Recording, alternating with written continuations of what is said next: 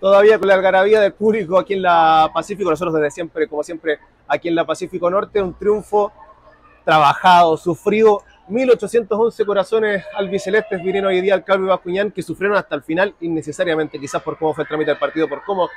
eh, dominó Antofagasta a este buen equipo de Barnechea, que para mí, hasta la previa de este partido, era el mejor equipo que juega en el campeonato, futbolísticamente hablando y cómo se ve en la cancha, obviamente los puntos. Hoy día La Serena se proclamó campeón con esta derrota del elenco de Barnechea y con el triunfo por la mínima en eh, su propio reducto. Obviamente ya tenemos un ascendido, pero Antofagasta con el triunfo hoy día sigue en la lucha por, eh, por los puestos de liguilla, se afianza con, esto, con estos tres puntos en la, la victoria que es la tercera de manera consecutiva, octavo. Ahora sí, yo lo había marcado con los deditos cuando Antofagasta no ganaba, octavo partido sin perder de Deportes Antofagasta. Tres victorias consecutivas, cada vez que gana, gana a tres, le hizo tres a Santa Cruz, le hizo tres a Limache y el día de hoy tres a Barnechea eh, y, los cinco empates consecutivos que había tenido antes. Desde el 31 de julio que no pierde la escuadra del profesor Diego Rebeco, que nobleza obliga, hoy día se lo ganaron dos jugadores que no estaban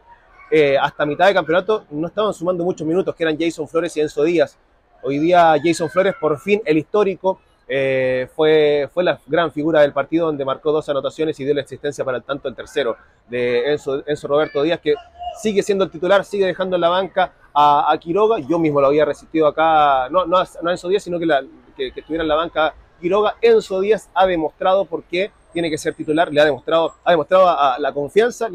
la, confianza que le ha puesto Rebeco a él, haciendo goles, y el día de hoy Jason Flores, que como les decía, fue el artífice de esta, de esta victoria, porque hoy día tuvieron apagados los que normalmente están con las luces encendidas, que es Luis Guerra y Andrés Soper, pero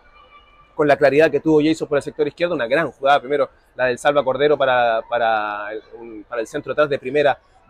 pudo definir el formado en la Unión Española para poner el primer, el primer tanto de Club de Por Santos y, luego eh, pudo poner también la segunda estocada y en el tercer y el segundo tiempo la tercera diana justamente fue Jason Flores que aprovechó una pelota que, que robó Antofagasta en la salida para poner la tercera diana. Y eso esto es importante porque Antofagasta aprovechó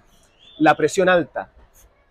Eh, apretaban muy bien arriba al elenco de Barnechea eh, hicieron los tres goles de esta, de esta forma, robando la pelota en propio terreno en el último tercio de la cancha al elenco guaycochero y con los espacios que provocaba la defensa al estar saliendo desde el fondo, eh, Antofagasta pudo, pudo capitalizar esas opciones, esas opciones y tuvo un poco más para incluso poder haber eh, aumentado la cuenta, sobre todo en el primer tiempo, pero en el segundo tiempo un error, otro más, del Chapa Díaz lamentablemente eh, deja, deja, solo a, solo a un par de delanteros de Barnechea que ponen el suspenso aquí en el Calvo y Bascuñán, pero sufriendo nuevamente nos llevamos una victoria y, nos vamos contentos a casa. Antofagasta a tres fechas del final siguen puestos de clasificación a la liguilla. Vamos a tener más partidos acá en el Calvo Boscañón, queda uno más contra Santiago Wanderers aquí en este, reducto, pero seguramente vamos a tener postemporada aquí en el Calvo Bascuñán, esperando que Antofagasta sea el equipo que acompañe a Deporte La Serena para ascender al fútbol eh, rentado, a la primera edición del fútbol chileno. Fue victoria aquí en el Calvo Bascuñán, 3 a 2 lo ganó Deportes Antofagasta, Jason Pablo Flores por 2, Enzo Díaz eh, por uno, la victoria 3 a 2 sobre el elenco guaycochero y el resumen lo ves aquí como siempre en el portal digital número uno de la macro zona norte del país como está en Que tengan buena semana. Nosotros, por supuesto, la terminamos bien con el triunfo de Chao.